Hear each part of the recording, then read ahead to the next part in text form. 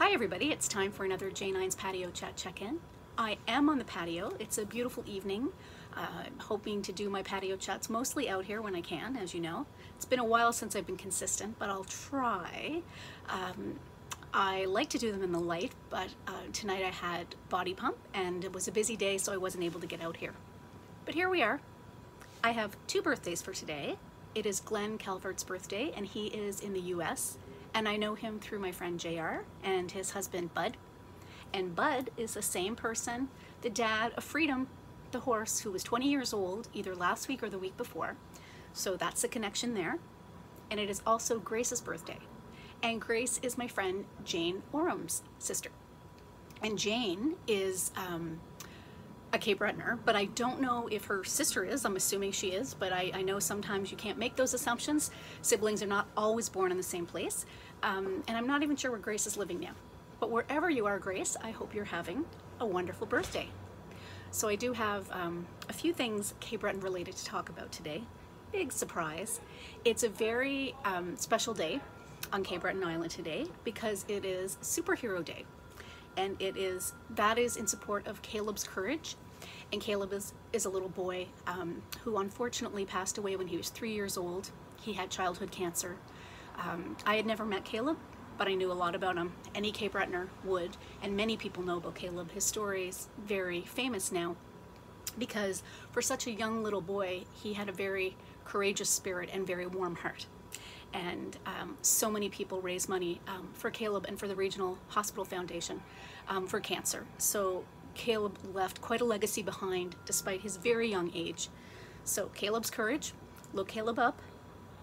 It's all also, uh, before I forget, because I do have another Cape Breton thing I want to talk about, a couple, but it's also World Tuberculosis Day and I will let you do research on world tuberculosis because I know usually I give you some information.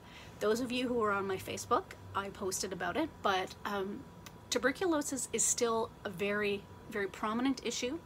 It's, it's definitely, um, people die, a lot of people die from tuberculosis every year. You can look up those numbers yourself. Like I said, I'm gonna give you some homework. Um, but I was working on tuberculosis um, not that long ago when I was working at FACTS. So educate yourself about tuberculosis if you are not familiar. Back to Cape Breton.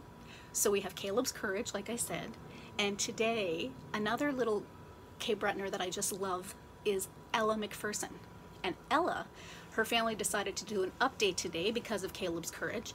Um, Ella is a little sweetie. I can't remember how old Ella is, but Ella's dad, um, Ryan McPherson, is the equipment manager at the with the Eagles, and he is actually a very close friend of my brother. Um, and him and his wife, and then little Boyd, uh, Ella's brother, lovely little family. Also, fun fact, that was Kevin Mandolese's billet family.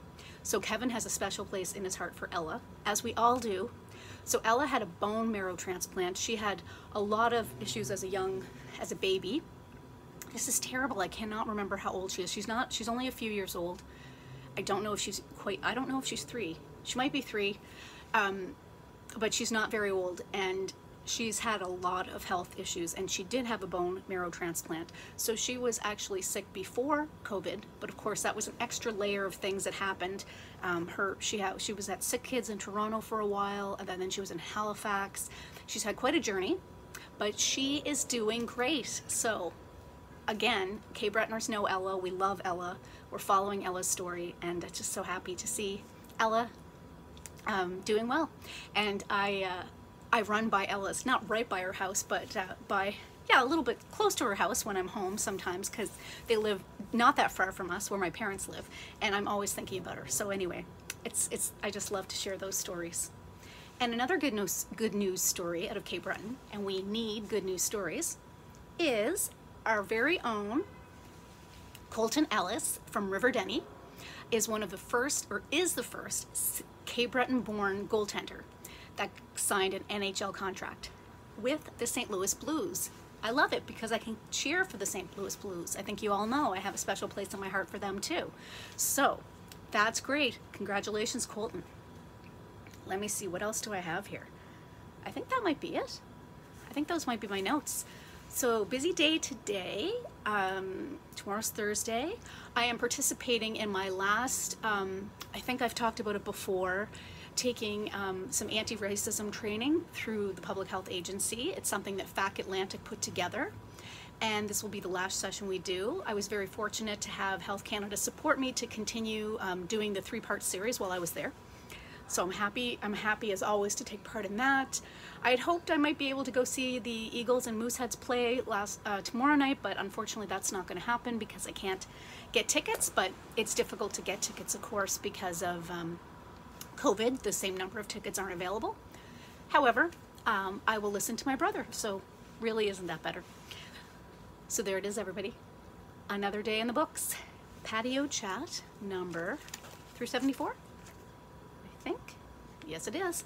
Okay, so take good care of yourselves, take good care of others. I'll see you tomorrow. Bye.